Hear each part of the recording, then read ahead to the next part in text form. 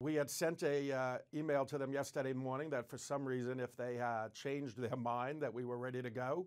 And lo and behold, last night around 11 p.m., uh, the news came in uh, first as a uh, email and then a phone call from um, Jeff Wayne, one of the executives over at Sony.